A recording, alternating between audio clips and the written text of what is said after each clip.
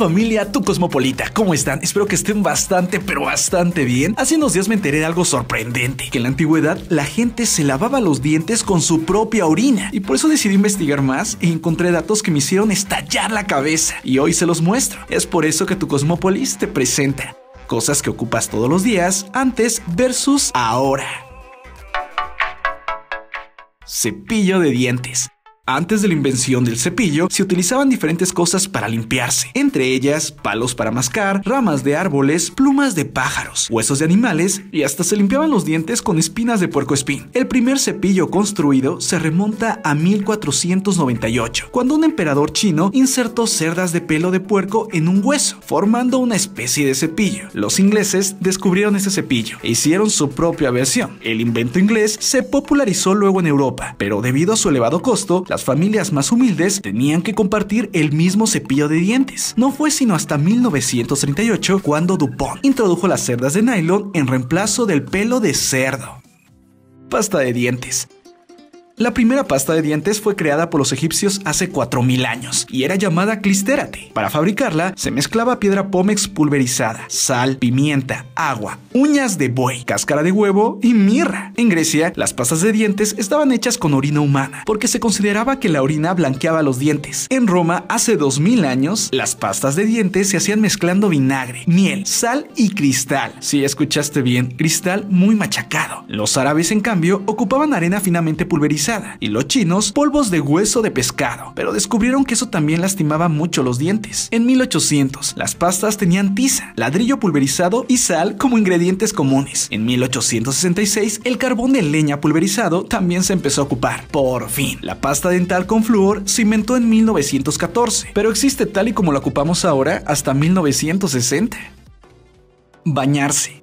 En el pasado, algunas culturas eran más limpias que otras, pero por lo general solo se limpiaban lo necesario. Ahora bien, en ciertas culturas, como la egipcia, griega y romana, bañarse no era un simple acto de limpieza, ya que era meterse una tina con esencias y especies aromáticas, y se convertía en un ritual que combinaba lo religioso, el placer y la ostentación de la riqueza. Los egipcios se bañaban con aceites y ungüentos perfumados, que supuestamente solo los sacerdotes sabían preparar, y es que se creía que las recetas y los ingredientes eran secretos del dios Tot. Los romanos se limpiaban las impurezas de su cuerpo, frotándose con aceites, que luego eran eliminados con un artilugio raspante, llamado estrigil. El estrigil era una espátula de hierro de 30 centímetros, utilizada por los romanos para fregarse la piel. Un dato interesante es que muchos griegos, en especial los deportistas, no se bañaban, pues decían que esto los hacía débiles y les hacía perder el olor fuerte de los atletas. Ahora bien, la costumbre del baño se perdió casi por completo en la Edad Media, y es que ahí poco se utilizaba el baño, y por eso se utilizaban los abanicos, que no solo refrescaban, sino que espantaban los malos olores y también a los insectos, los cuales salían de las faldas de los trajes de las doncellas. Además, en esa época, el ritual de baño también era bastante desagradable, ya que se reutilizaba el agua. El primer miembro de la familia que se bañaba en la Edad Media era el padre, luego sus hijos hombres y luego las mujeres. A pesar de que el agua quedaba bastante sucia, al final se bañaba a los bebés y a los niños. Un dato curioso es que en la antigüedad la iglesia no veía con buenos ojos el baño, ya que lo consideraba un lujo innecesario y bastante pecaminoso.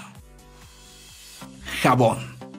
Antes del jabón, la gente se bañaba con aceites o como en Marruecos, frotándose con gel en el cuerpo, ya que también la jena es desinfectante, o ocupaban la ceniza de madera que quedaba en la estufa. Obviamente al no ocupar jabón se enfermaban tanto. Ahora bien, como ocurre con muchos otros productos, no está claro cuándo ni cómo se inventó el jabón, pero según varias leyendas se descubrió en Italia. Cuentan que en el monte Sapo, que estaba cerca de Roma, se hacían ritos ceremoniales y sacrificios de animales. En ese mismo monte ardían fuegos para la realización de esas ceremonias de sacrificio cuando llovía, el agua arrastraba la grasa animal y las cenizas de esos fuegos, que bajaban por los riachuelos hasta la base del monte. Los esclavos que lavaban la ropa de sus amos en las aguas que bajaban desde ese monte descubrieron que esas aguas limpiaban todo mejor y se dieron cuenta que la razón de eso era la unión de la sangre con la ceniza y así descubrieron cómo hacer jabón. Bastante perturbador, pero bueno. En la actualidad ya no todos los jabones se hacen con grasa animal, ya que existen otros ingredientes, como los sintéticos derivados del petróleo o los jabones hechos con grasa vegetal.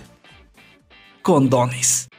Los primeros condones fueron simples tripas de animales con el extremo atado, que ejercían cierta protección para que la mujer no quedara embarazada. En el antiguo Egipto, hace 3.000 años, se usaban fundas de tela, vejigas de pescado o de cabra. Un ancestro del condón que se ocupaba hace 500 años consistía en una bolsita hecha de tripa de animal y lino, que se fijaba con una cinta. Su objetivo era prevenir las enfermedades de transmisión sexual, como la sífilis y la gonorrea. Estos condones eran reutilizables. Antes de ocuparlos, había que remojarlos en leche para hablar dar su aspereza y eran reutilizables, ya que después de usados se desinfectaban con agua tibia y se llenaban de polvos de talco o de harina de papa. Esto hasta su siguiente uso. Fue hasta finales de los 1800 y los inicios de 1900 cuando en diferentes partes del mundo, sobre todo en Inglaterra, se empezaron a fabricar los preservativos de látex o caucho muy parecidos a como los conocemos ahora y se vendían en farmacias.